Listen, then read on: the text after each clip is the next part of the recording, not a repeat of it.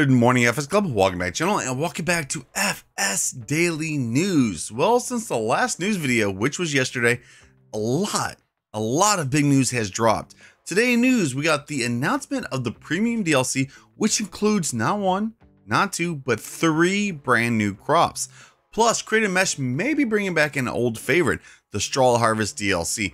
And list is here, and there's 33 mods on that list. Remember, before we get to that news, make sure to hit the like button, smack that sub button, and ring that bell. Now, roll that intro. Let's see this news. We'll go putting on the greatest show. So make sure that you don't miss out. Just be there. We're taking our shot. Welcome back. Okay, so here we go with that first piece of news for today, which of course it is going to be about that big news drop, which was about the new DLC coming out, the premium expansion and the premium edition that's going to be coming out very soon. Of course, this will be coming out November 14th to PC and consoles.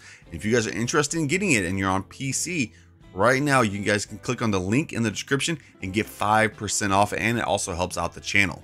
Anyways, what does the premium expansion include? It includes three new crops, carrots, parsnips, and red beets, brand new maps, Zielonka, which is a Central European map, new factories and production chains, over 35 new and specialized machines, four new brands, so there's gonna be 15 brands overall.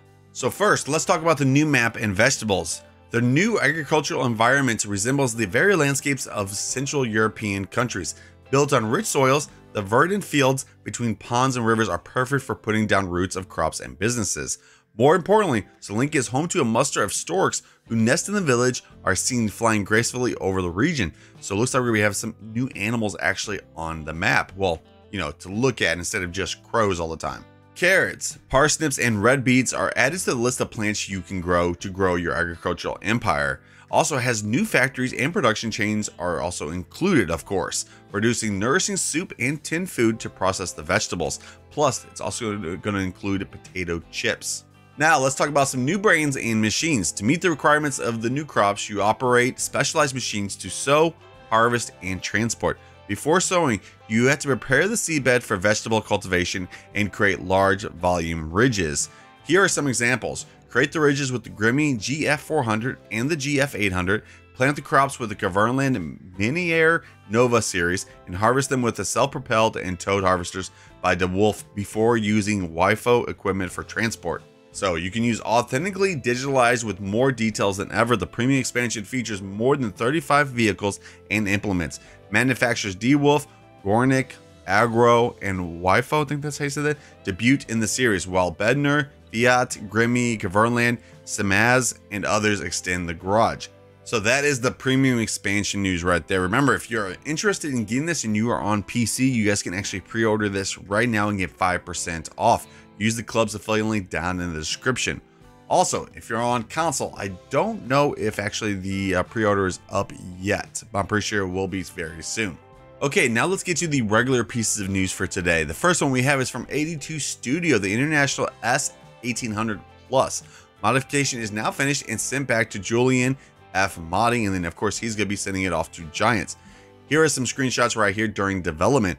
It is now going to be compatible compatible with the TLX X2 attachments, the TLX Service Pack attachments, and the TLX Mount SaMASZ Snow Blade. So can't wait for this huge update right here. And then now let's talk about some news from Oxygen David. Some last minute changes to the map before it was sent to Giants was to increase the fruits on the map. The map now contains four new crops, linseed, field beans, rye, and alfalfa. He has made all new textures for all the fruits here.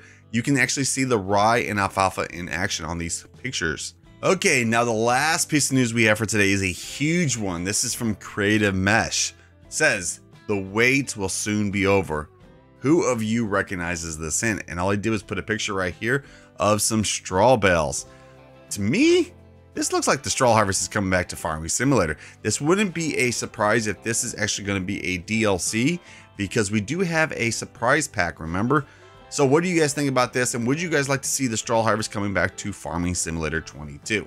Okay, now with that out of the way, let's get to the testing list for today. There is 33 mods on this testing list. And yes, they do all say PC. This does not mean that it's only PC mods. Just means they're in the first stage of testing, which is PC, second stage console, third is release. So let's go over some notable ones we have on here. We have the John Deere 6M, the John Deere 7030 Premium Series, John Deere Bale Spear Pack, a few lizards right there, including the Lizard Rumbler van, uh, East Finland, New Jersey, USA. Uh, we have French Tags Pack, the Novacat X8 ED, Monet Workshop, and Green Gold Farm. Okay, number mods going to be tested is 129. Current wait time is 10 workdays. Well, right there was all the news and testing list for today. It actually was a huge news day. Which one are you more excited for? The Straw Harvest or the Premium DLC? Let me know in the comments section below. Today, I will also try to get out the Cord Farm's first look video if I have enough time. Also, remember that all the links to the news and testing list are linked in the description. Also, keep in mind that mods and maps never have a release date unless it is scheduled. Don't forget to smash that like button if you did enjoy the video. Also, don't forget to hit that sub button to stay up to date with everything that's going on in Farming Simulator and make sure that notification bell is on so you miss any of the videos here on the channel. Well, I hope you have a good day. I'll see you in the next one. Peace.